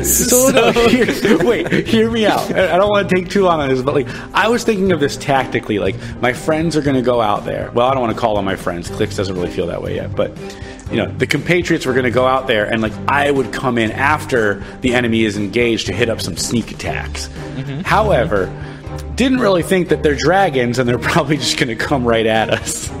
So yeah, I'm gonna run away. Uh, I'm just gonna bolt uh, in the direction that Volko's headed. Okay. Okay, glad we got that done. Red Dragon swoops down and lands in front of Endromide and Gron. And it's going to make a bite attack at Gron. That is a 19 total. Oh, yeah. You take 14 piercing damage and an additional 4 fire damage. As this large maw, this red dragon, bites into you. That is its turn. It is Gron and Endromide. All right. Anything you want to do before I hit this thing? No, you go ahead, and I'll, right. I'll follow up. Okay. Gron is feeling incredibly scared. He doesn't feel that scared very often, but he has never seen a dragon in real life before, and it's starting to fill him with just this fear. And it's going to manifest as rage. And in this room that's already like really incredibly hot, the air around Gron gets even hotter. If these dragons are not immune to fire damage, They are immune to fire damage. then they don't take two points of fire damage. But I know someone that might. oh shit! It's fine. Don't worry about it. All right. You you manifest this this fiery rage aura, and the dragon in front of you just roars at you. Oh. okay. Oh my. Uh, in my fear, I'm going to attack it recklessly with my maul. Yeah, that's going to be a 22 to hit, That'll hit. and that's going to be 12 bludgeoning damage right in this dragon's mouth if I can hit it. Nice. Yeah, you fucking bludgeon this thing right on the face. Hit him right in the tooth. Yep, that's right. Anything else from Gron? Sorry, Endromide. It's all right. What's a little more discomfort? Endromide, that's you. You hit it pretty good there. Why don't you do that again? I'm going to cast Cure Wounds on you. You've got to be joking. You get four hit points back, Oh no. the least I can restore to you. Uh, but also with my voice of authority, uh, you can use your reaction to take another attack. Nice. Okay, I'm gonna attack him again. All right, well that's an 18 to hit. That will hit. Nice. All right, and that's gonna be another 12 bludgeoning damage. Ron, you see this dragon in front of you. It is the size of an elephant, and you manage to Not a dragon? find- well, it's the size of a dragon, but Dragons come in different sizes. but Fair. it is on the smaller side of large categorically. And so, despite its intimidating size, you are able to find purchase and deal some heavy damage to it in this first round. At the bottom of initiative, we have the Bronze Dragon. Flies down, stays flying in midair, and is going to dive towards Klyx and Volkos. So this is going to be a bite attack on Klyx. Only a two on the dice. I think an eight misses. That is the bronze dragon. Uh, we go back to the top. On the top of the second round, we have a little lair action. These dragons now downed towards the platform. Everybody feels this rising heat in this room as you are literally in just in a big room full of lava, these big fire dragons. I'm going to need everybody to make me a constitution saving throw, please. 25. Nat 20 with a 24 total. Hell yeah. 13. Okay, so this is going to be half for everyone, Endromide just passing that. That is three fire damage from the extreme heat in this volcanic chamber. That's back to Klyx. Klyx looks beyond the bronze dragon directly at Volkos and says, "Time to see how this works," and pulls out the uh, what the fuck is it called? The Phoenix Feather Armlet. Uh, what level is the Hellish Rebuke on that? Hellish Rebuke is a reaction. Yeah, you take it in reaction to taking damage. Lair actions don't count. Ah, hey, that's So a that's good- up for interpretation. Yeah. We don't need to go um, digging around rules. You can just tell me what I you would say for this specific thing, it's probably not something created by the dragons. so Yeah, I would yeah. rule no, but Yeah, I'm gonna say the same. All right, Klyx, takes out his hand, nothing happens. Shit. And uh, then he unsheathes his sword and tries to swipe at the dragon, who is a little above him but still in melee range. Right? Correct. Okay. Yeah, I'm just gonna go for uh, for an attack then. Go for it. Okay. Does a 20 hit? 20 hits. All right. There is six, and then my sneak attack. Uh, 10 damage total. You swing into this. Anything bonus action, offhand attack, anything like that? Absolutely. Yeah. That misses. Klyx goes to take the dagger and kind of slash at the ankles of this, you know, levitate, you know, like mildly floating above the platform dragon here, and just kind of dinks his little dragon nail. Shit. The hide of this dragon too tough for Klyx's dagger. No, no, it was his toenail specifically. Oh, He dinked it off the toenail, making Nice. sure we're, yeah, we got to keep that canon. that is Volkos now is going to look at you and say, "Look who decided to be brave!"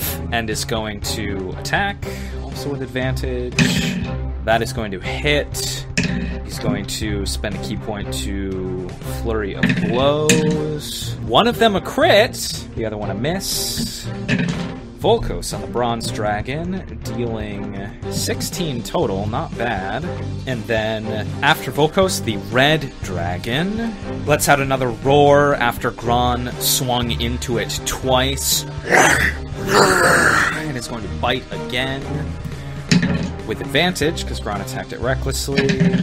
And that's uh, a nat 1 on the first roll and a 12 plus 6 on the second. Uh, I think you're mistaken. It's a 6 plus 6. Ah, okay. Endromide, what does that little move look like? So, again, sometimes idly, Endromide will move their hands, sort of plucking and unknotting at these invisible strings. But at this precise moment, as the dragon, like, uh, reaches out its jaws, their hand sort of tenses into a like a like a pulling motion, and they sort of yank their arm and divert the course of the dragon's bite to the empty air next to where Gron is standing. Awesome. Very cool. That is its turn. It is now Gron. Ugh. I really thought that was gonna hit me. It was not meant to be. Yeah, suppose I'll just hit it. Don't have much else I can do. Here we go. Mm, I'm gonna hit it recklessly. I didn't learn any lesson from the last round. That's 21 to hit, That hits. And that's gonna be 13 bludgeoning damage. Nice. Swing into this thing, and it's starting to look a little hurt. Uh, you can see some of this Nyx-born blood being smashed against the rock surface of this platform as you swing. That is Endromide's turn. Could I move around to the back of it to get into a flanking position? Sure. Okay, cool. So I'm going to do that, and I'm going to attempt to touch it with a spell attack. Okay. I will say, as you move around it, you have definitely drawn its ire with your little divination trick. It hmm. seems to have caught that bit of Nyxian influence, and you have definitely drawn its gaze. All right, well, I'm going to draw a bit more of its ire now. okay, that attack with advantage is a natural 20.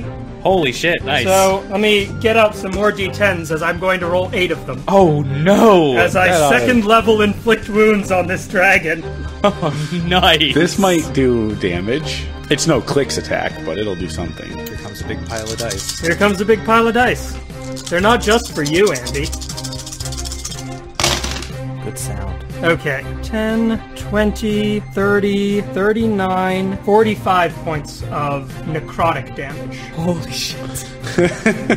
Extremely hurt. Sent from moderately injured to borderline death's door. Describe what that attack looks like.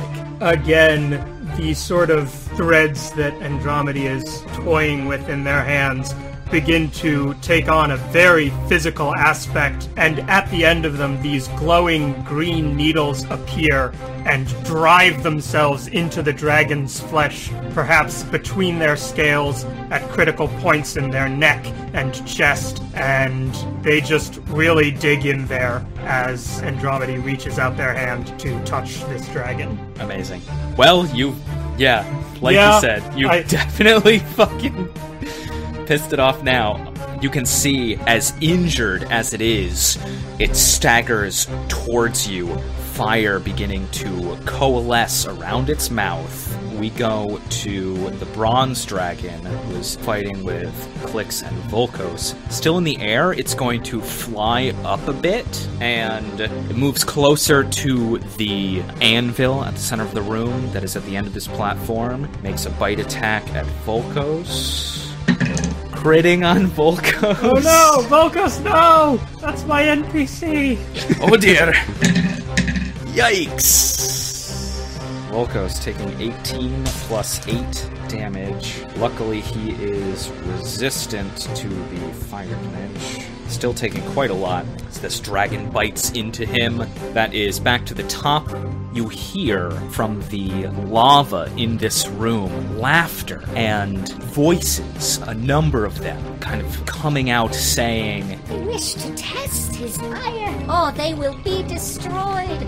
We will burn their bodies. these fey creatures you can see coming up out of the lava one by one these oreads these fire nymphs dryad like figures but made of volcanic rock and this very porcelain red skin and they are going to have everybody make a dexterity saving throw as the platform begins to tremble and quake from their commotion Oh, I used up all my luck.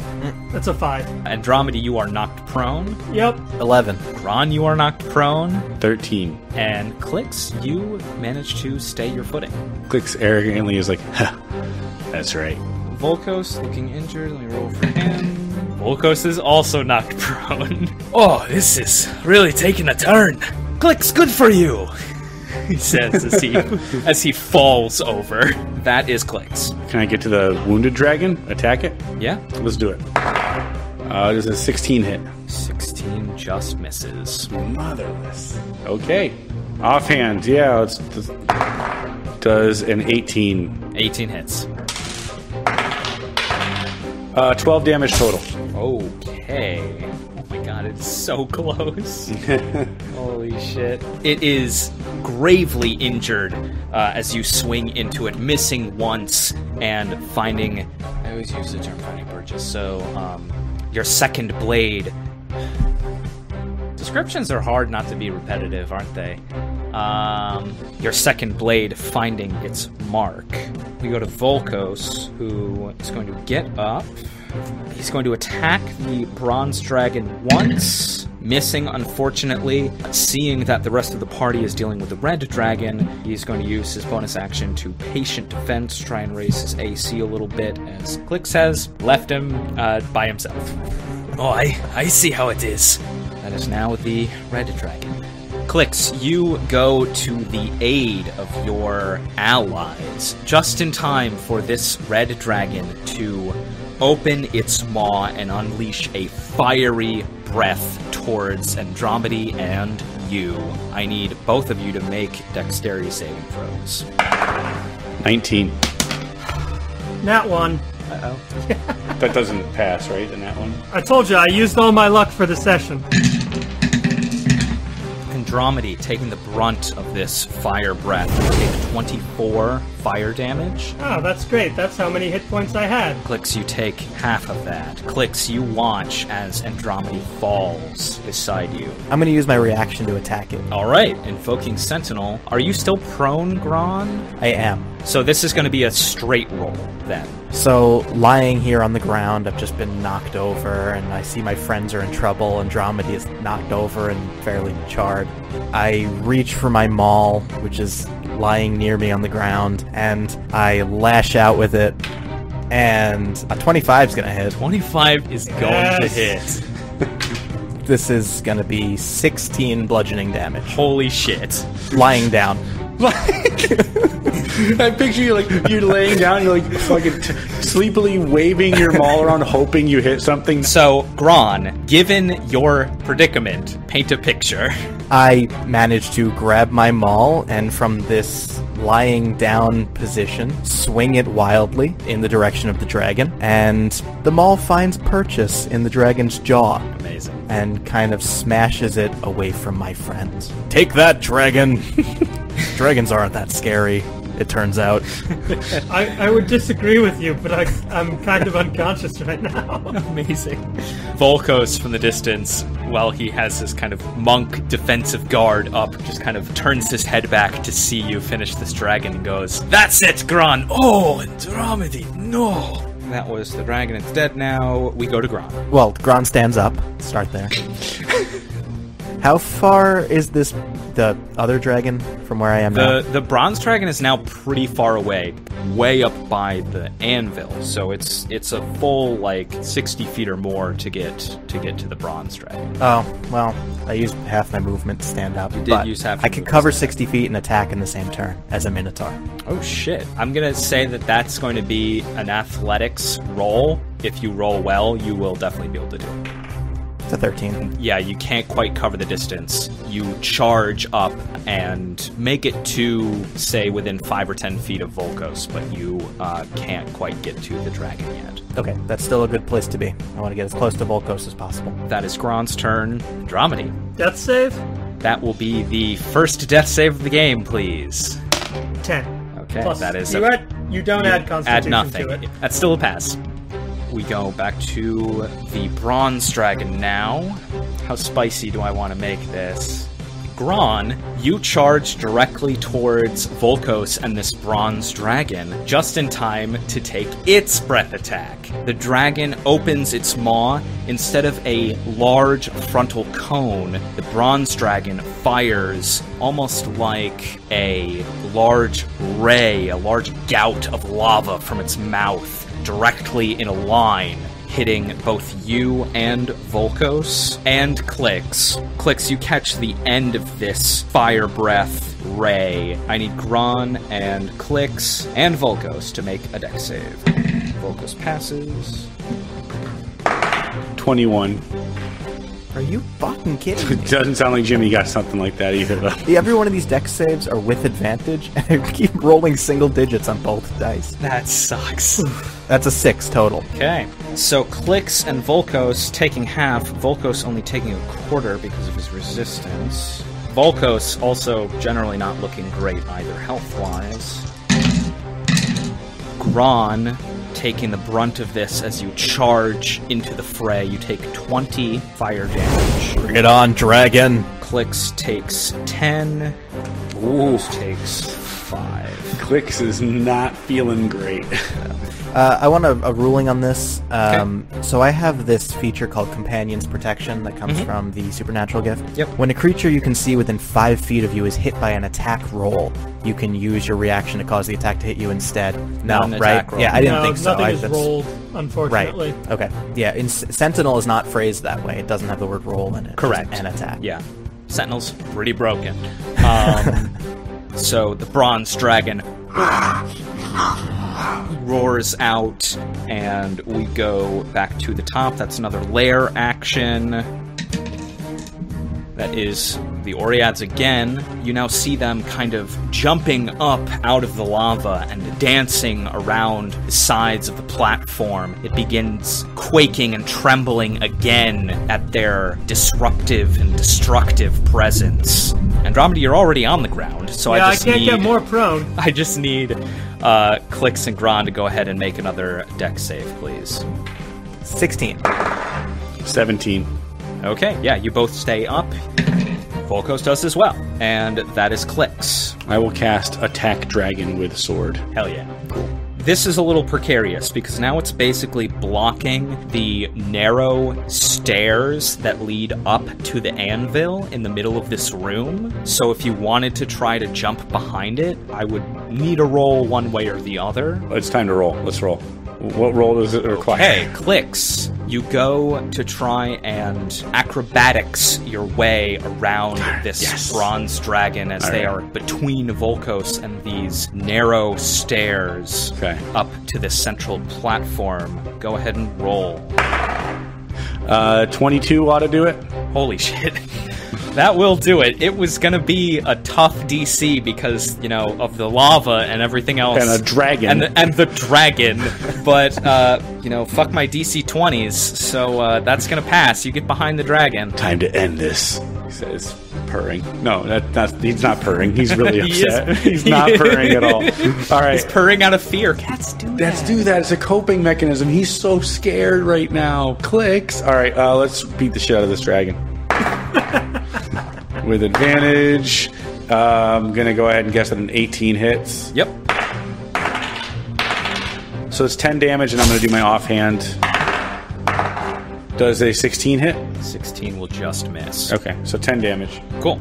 Narrowly escaping, falling off the side of this platform into a lake of lava. Klyx deftly makes it to the other side of this dragon, attacking it, but the dragon evading your second attack. That is Is this dragon looking hurt at all? It's looking hurt. It's looking hurt. Didn't take nearly as much damage considering Gron hasn't been wailing into it at all. Okay. I, I've got to say, just looking at the numbers, Gron is a big stick. Man, oh man.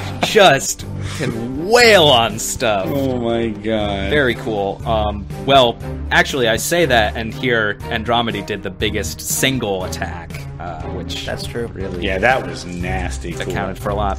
Yeah, I was lucky. But Endromide is is lying on the ground, and Yep. seeing that, Volkos turns around. Okay, good. Clicks, yes. And Gron, good. I love how Volkos assessed Klyx and decided Klyx is in good shape. I have 2 HP. What? I am beat to shit. And he's like, oh, you're good. You're the closest to the dragon and on death's door, but I'll ignore you. That's fine. Volkos uses Step of the Wind to disengage, so he doesn't take an attack as he steps away and towards Endromide. Can't get all the way towards them, but will cast Cure Wounds on himself on this turn, healing a bit. Gron, he passes you and with a deferential nod says, I think you know what to do at this point. Red Dragon's dead, just in time for Gron. It's always time for Gron. It's grind time, baby. so horrible. Yeah. Okay. Uh, yeah. Just gonna smack smack it again with the maul. 24 is going to hit it, That's gonna hit it. Jesus Christ. and uh, that one is going to become a 2. Yep. 15 bludgeoning damage in this dragon's teeth. This dragon turns around towards you and roars just before getting smacked in the mouth by the shiny new maul that Gron has. Click sees uh, Gron smash this thing in the in the mouth, and is like so impressed with Gron's combat ability. He starts to get a little excited. The fear kind of goes away, and he's like, "Looks like you need a dentist." He shouts out to the dragon, all giddy that his buddy now is like kicking total ass. Cool that they have dentists in ancient Greece. All the Oreads that are around in this room now just like laugh at Klyx's bad joke. Klyx feels on top of the world. It's unsettling. I'm going to use my bonus action to try to shove it. Oh yeah, you can you can try. All right, so uh, as I smack this dragon's teeth away from where I am with my maul, its head gets pushed out of the way, and I just come at it with my horns and kind of lock them into its neck and try to push it off the side. That's a strength saving throw. A DC is 15. It rolls a 15 on the dice, making Oh. it a 19 total. It doesn't move, and I guess it was worth a try. It kind of plants its feet into the ground, and unmoving, you are now right up against this bronze dragon. Uh huh. We go to Endromide. Another death save save, two. please. Nope, that's a fail. What was it? Uh, four. Okay, Endromide now at one and one for death saves. Bronze Dragon's gonna make an attack on Gron, rolling a 19 on the dice.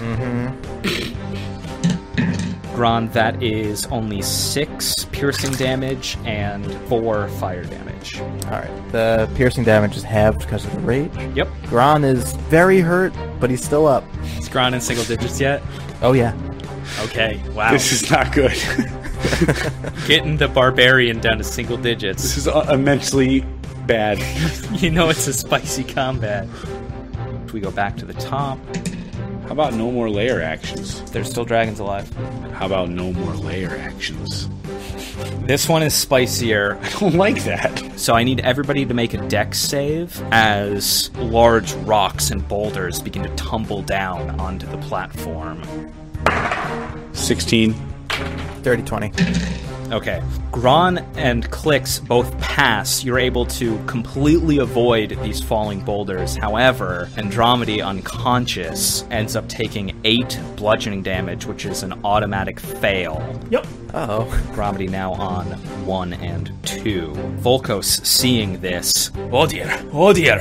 is going to try his best to get to Endromide before anything else happens. That is Klyx's turn. Attack dragon. Go ahead. Cool. Yeah, it's my favorite move. That's a no. Um, so let's try offhand. Even with advantage. Even with advantage. Just absolute. Okay, there it is. 23 ought to do it. Yep. So that is one damage, but I do have sneak attack going on here. Yep. So 12 total. It's a really good sneak attack. Klyx, you can start to see the metallic scales of this dragon starting to show a lot of wear. It is starting to look pretty injured. We go now to Volkos, makes it to Endromide, kneels down beside them, Always have a backup spell slot handy for something like this. and casts his final Cure Wounds. I like your little defibrillator motion there. Yeah, he takes his warm, worn flame speaker hands, places them on you, and that's going to be 14, rolling max on two dice there. Endromide is back up, and you know, as a bonus action, because he's just going to be super cautious, he turns around kind of to block this dragon's view of Endromide while they are still on the ground, and takes another patient defense with his bonus action. Are you with us? yes, thank you, Sophistes. Quite the trial, hey? That is Gron. Okay. I'm gonna hit the dragon. Hit it with my maul. It's a 22 to hit. That hits. 13 bludgeoning damage. This one is more of an upwards motion. I hit it in the chin. Nice. Yeah, all of this, like, smacking the dragons in the face really gives me some Skyrim vibes. yeah, smacking it around. looking quite hurt, Gron, you can kind of tell this bronze dragon doesn't have the the beef that the red dragon had. And so it's looking quite hurt. This is Endromide's turn. Okay. Endromide is going to use half their movement to stand up. Seeing you stand, uh, some of the nearby Oreads kind of laugh and say, This one's gotten back up. Don't usually do that. I'll say back to them in Sylvan, we are no ordinary people. We were chosen. Klyx, seeing seeing Endromide get back up, shouts out, "Preacher, we need your help." Yeah, I'm gonna try. I'm gonna try. Honestly, I feel like the best way I can help is to give Gron more attacks. So I will have Scully deliver this Cure Wounds, Nice. That's cool. Yeah, you see the giant moth fly up. and you regain 8 hit points, and can use your reaction to take an attack. Great. I'm gonna do it. 17. That just hits. 17 is their AC. Wow. Sick. Yeah, you guys have been dancing around that number a lot. That's 14 bludgeoning damage. Gron, paint another picture. Thank God. Fucking getting kills on both fuck. of them. So as these red threads close up Gron's wounds, he straightens up his posture and holds his maul up, and with a brutal spinning swing, knocks this dragon off the side of this bridge. He absolutely does. You swing a full 360 with your maul and crash into this dragon, and the Nyxian life force fades as it crashes down into the lava next to this platform. We exit initiative as the entire chamber begins rumbling.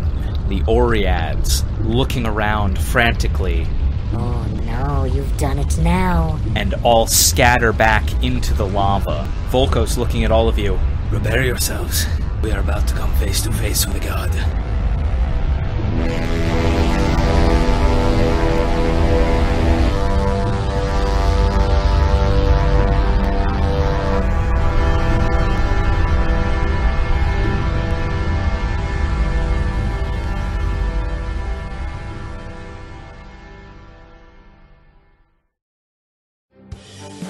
Pods of the Multiverse is produced by Jimmy Affatigato. That's me, with music by Andy Burger and art by Alexa Reilly.